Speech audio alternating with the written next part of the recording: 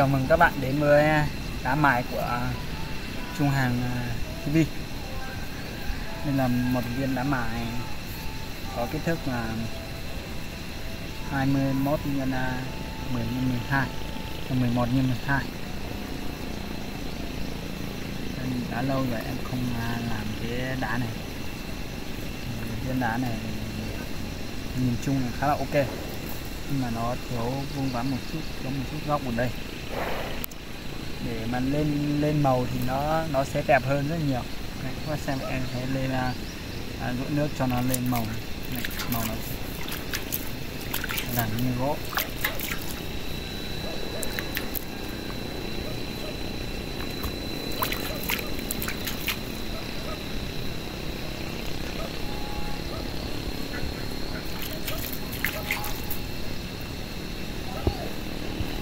Để mà có được viên đá như thế này thì em cũng đã phải à, lặn lội mấy ngày.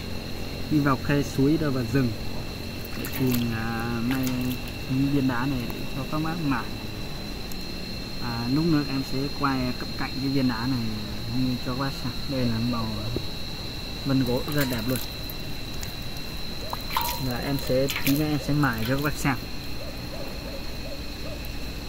Đấy, bác nào mà lần đầu vào kênh uh, à, Trung Hàng TV xem thì bác uh, em xin một uh, đăng ký một like với vâng.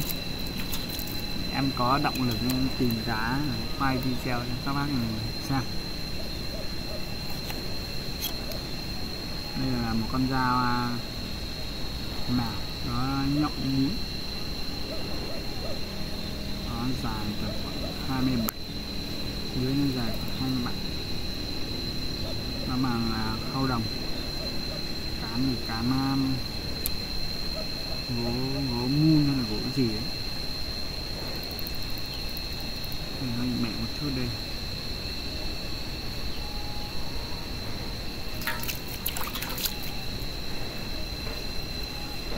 Khi cái dòng đá này thì à, nó giống với cái dòng đá, một cái dòng đá em quên mất tên này dòng đá của Nhật ấy thì nó có độ à, mịn của nó là tầm 800 đến một ngàn rưỡi. Thì cái đá ở cái đá này của em nó cũng tương tự như vậy. Những viên này nó mịn nó khoảng 800 đến 900 lít còn những viên mà mịn nhất thì chắc là nó chỉ tầm là một nghìn rưỡi. Cái này thì nó không cụ thể này ăn chừng thôi. Theo kinh nghiệm của các ba đã dùng đá để chia sẻ lại thôi. Thực tế thì cũng không có công cụ gì để đo cả. Đấy nhưng mà để đánh ánh nắng này các bác này nhìn xuống cái đá này mà có ống ánh ấy, có những hạt là tinh thể của ống ánh ấy, thì nó là những hạt mài. Hết rất tốt.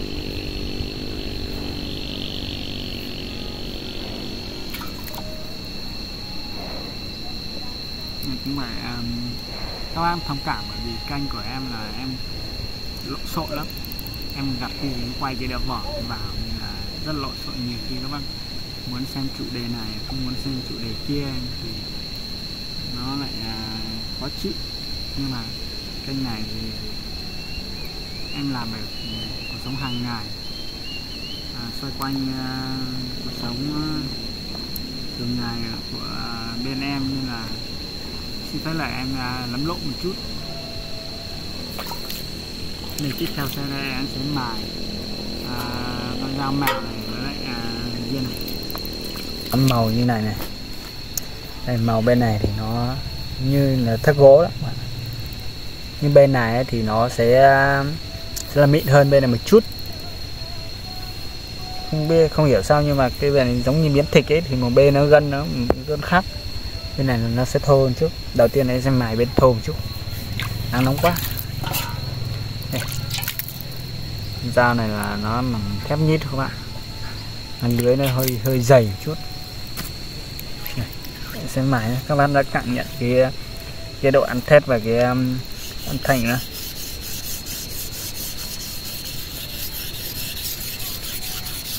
nó ăn rất từ từ các bạn. Nó ăn rất từ từ. Nhưng mà các bạn mài thì các bạn à, khi mà trà cái um, dao lên à, cái đá này thì cảm giác như nó đang bào dần.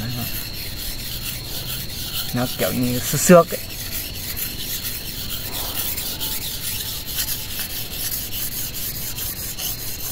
Này nó ăn rất từ từ rồi. Nó sẽ ra bùn này, bùn thép rồi ít ra bùn đá.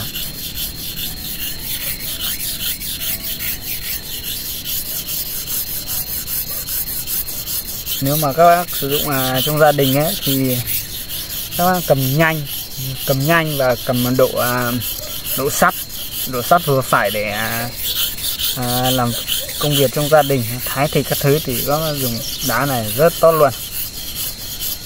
Rất là vừa phải luôn. Nếu mà các bác là dùng để um, sơ chế hoặc là chế biến các món uh, mang hình thức là um, để mắt tí thì nó phải à, uh, lại với cái đá mịn hơn. Còn bình thường mà mài dao đi rừng hay là đi làm cái gì thì mài đá này quá tốt rồi các bạn đây xem nó ăn ăn thép như này. Đây nó đang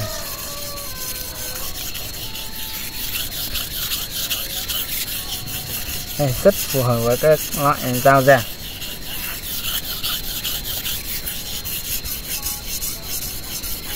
đây bát này là của viên của bác à, bác lâm ở à, nghệ an bác đã bên rất lâu rồi nhưng mà mãi mới tìm được. Đây, bác có nguyện vọng là để em làm cái clip sao mà đăng lên youtube. Nè để em à, dành ít thời gian để à, mài con dao này để các bạn à nó à, chiêm hướng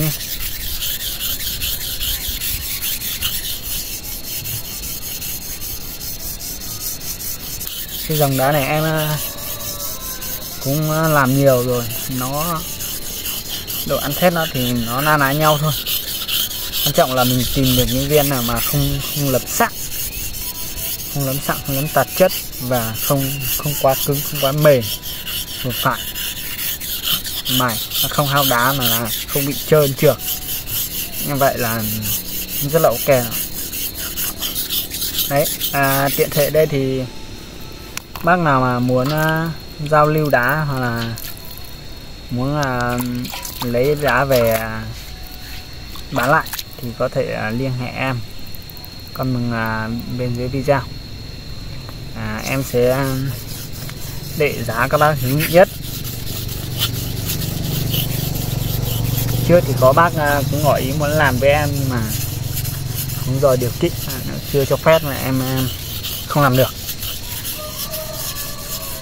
Nên là bác nào muốn làm thì có thể liên hệ em.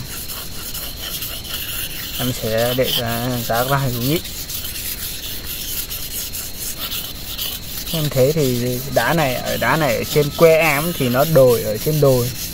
À, hầu như ở chỗ nào cũng có cũng có cái dòng đá này nhưng mà độ ăn thế nó kém chỉ mỗi ở chỗ chỗ em làm này là chỗ ăn thế mới được thôi.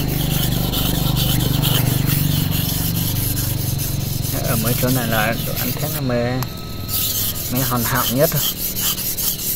Khi các bạn đặt con dao như này các bạn mài rất tuyệt tình như này thì nó cảm giác như là đang bào dần ra con dao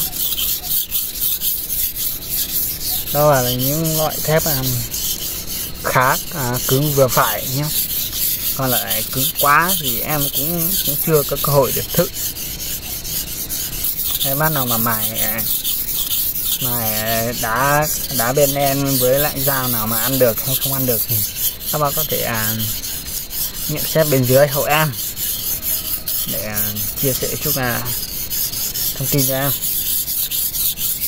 Vì em, bản thân em làm đá nhưng mà tuy nhiên thì nhiều cái khác em vẫn ờ, chưa hiểu. Em chưa biết cần phải hỏi các anh rất là nhiều. Đấy. Mày là ăn thêm này nhá. Đá hao rất là ít luôn.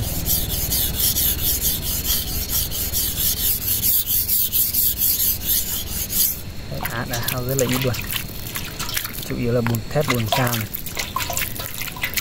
Đây, các bạn xem ra nhá. Mài rất là sáng bóng luôn. Đây, rất là sáng bóng luôn. Các bạn mài xong các bạn à, nước như này cảm giác là chân chơi nhất nhất các bạn. Nhân nhất nhân nhất rất là sáng luôn. À, tuy độ mịn nó không cao nhưng mà dao thì kiểu nó không không phải bóng mường như gương nhưng mà nó cũng có độ, độ bóng à, nhất định so với mài một số loại đá khác.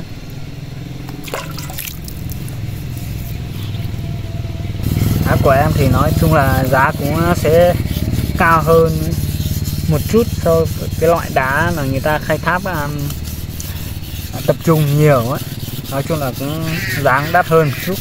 Tuy nhiên thì các bác mà ăn hiểu về đá thì các bác nhìn thì các không biết rồi. Về chất lượng nó thì nó cũng uh, hơn hẳn. Nó không không không phải như cái loại kia. Loại kia thì người ta cắt à, đá to hàng tấm. To để cắt máy kiểu quy mô công nghiệp. Thì chắc chắn là giá nó sẽ hơn. Tuy nhiên thì uh, chất lượng nó thì nó nó cũng sẽ khác. Này, tiếp theo đây em sẽ mài sang bên này nhé sang bên à, nó mịn hơn. Kiểu các bạn mài xong á, các bạn mài sang bên này là các bạn à, mài cho nó bén thôi.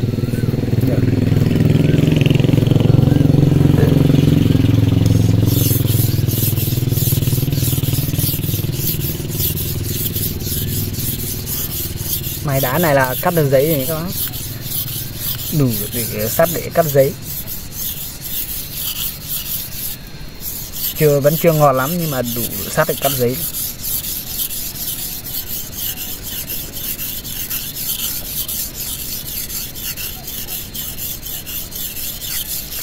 Còn bác mua đá ấy, một viên của năm sáu mươi nghìn thì các biết rồi đó. Chất lượng nó như nào? Ê, chất lượng thì đưa đưa về giá cả.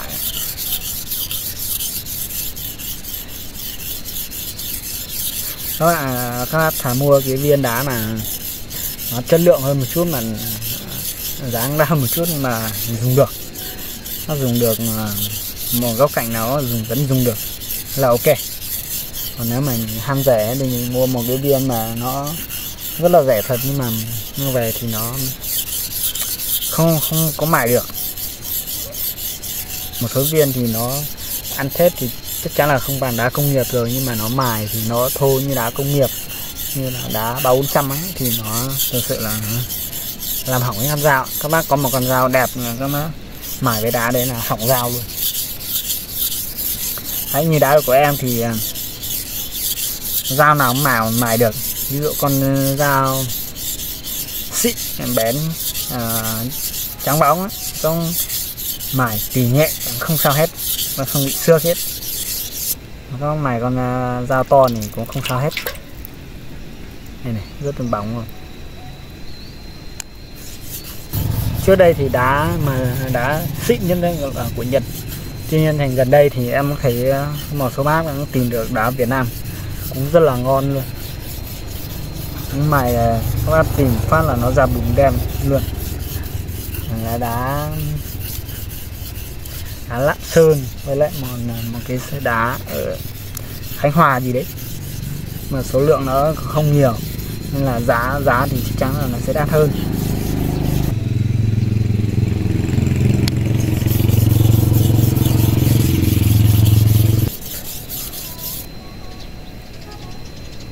Bình thường da mèo thì mắm mài thì sẽ mài từ cả sóng lưng này xuống xuống dưới lưới tuy nhiên thì do con này nó à, lưới dày quá nên em chỉ mài dưới lưới thôi. Nên các bạn mài xong các bạn à, vuốt vuốt cái lưới dao này cảm giác nó à, trơn trơn như nhất hoặc là như xà phòng ấy. Này, đá này là như, như thế nó rất là mượt.